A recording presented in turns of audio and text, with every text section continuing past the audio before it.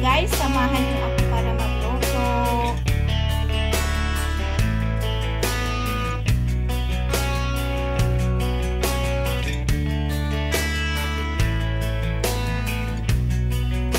Ayan guys, magluluto na tayo. Ayan, i-prepare ko na lahat ang mga uh, gagamitin natin sa pagluluto.